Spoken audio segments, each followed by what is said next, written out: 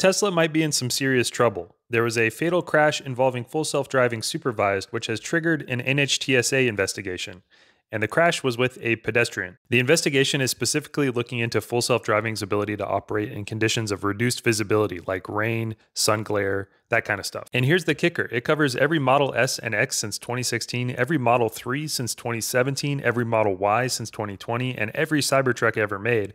That is millions of vehicles. In addition to the fatal crash with the pedestrian, they're also investigating other crashes that led to severe injury. I feel like people who don't own Teslas and aren't interested in full self driving shouldn't be forced to participate in this like national beta test that's hurting people. And the main reason these problems are happening at all is because of a cost cutting measure that Tesla did to remove all of the ultrasonic sensors from all of of their cars and rely instead on just Tesla Vision, which is just cameras. Those ultrasonic sensors help Tesla see in conditions of, you guessed it, reduced visibility, which is now where they're having accidents. And full self driving on the Cybertruck has been riddled with problems like veering people into oncoming traffic and running red lights, curbing tires, and taking the wrong exit on interstates. Like other drivers should not be subjected to that. That's terrifying.